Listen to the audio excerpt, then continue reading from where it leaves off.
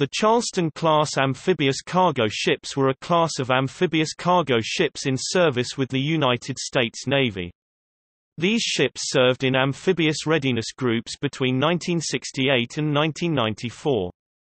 The ships were the last amphibious cargo ships built for the U.S. Navy, their role having been taken over by the San Antonio class of amphibious transport dock.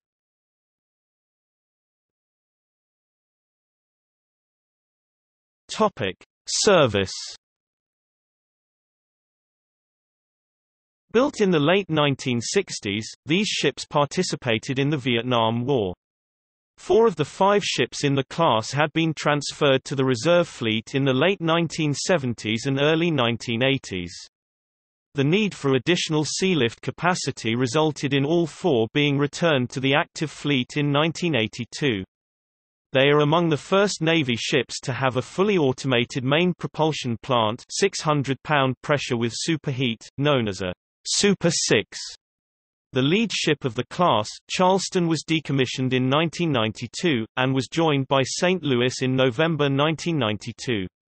The remaining ships were decommissioned in 1994. All ships are mothballed for possible activation in the future.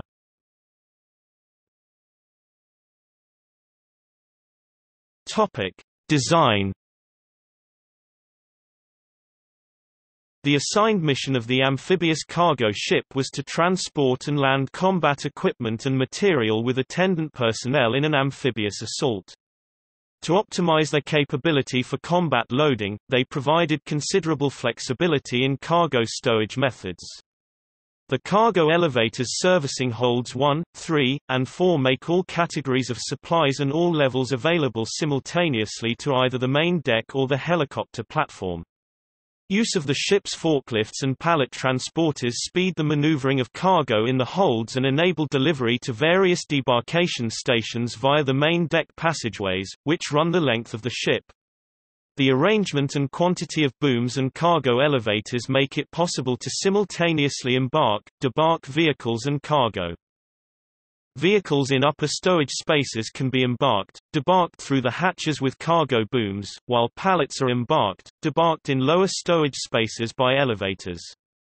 The main deck hatch of Hold 2 is unobstructed and can be opened for embarking, debarking of vehicles without the delay of unloading landing craft stowed on the hatch.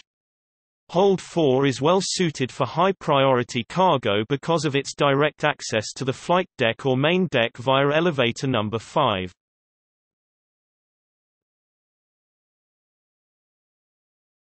Topic: Ships. USS Charleston LKA 113. Launched 2 December 1967. Commissioned 14 December 1968. Decommissioned 27 April 1992. USS Durham LKA 114. Launched 29 March 1968. Commissioned 24 May 1969. Decommissioned 25 February 1994. USS Mobile LKA 115. Launched 19 October 1968. Commissioned 29 September 1969. Decommissioned 25 February 1994. USS St. Louis LKA 116. Launched 4 January 1969. Commissioned 22 November 1969. Decommissioned 2 November 1992. USS El Paso LKA 117.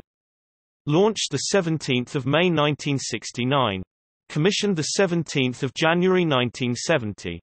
Decommissioned 21 April 1994.